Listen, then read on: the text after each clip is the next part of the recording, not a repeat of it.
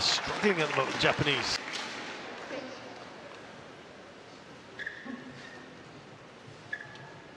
So the record has been broken now. It's 500 km per hour in the real match. You can see on the screen. It's broken in the Korea Open.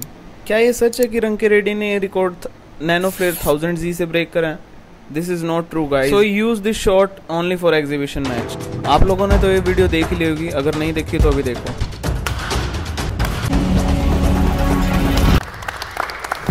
तो reality क्या है?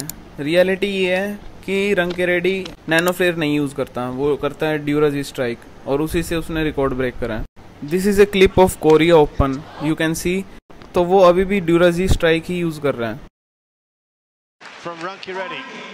So what's the conclusion क्या racket से फ़र्क पड़ता है या नहीं पड़ता? पड़ता है बिल्कुल पड़ता है। पर पहले अपना फोकस करो। Focus on your diet and gym exercises first racket बदलने से पावर इंक्रीज नहीं होगी। पहले आप फोकस करो पावर पे। एक्सरसाइज मैंने बता रखी है अपनी वीडियो में। और मेरा सजेशन ये है कि आप रैकेट फ्रीक्वेंटली चेंज ना करो। So in the Canada open Lakshya Sen has the fastest match in the world but now the new king has arrive which is रंग के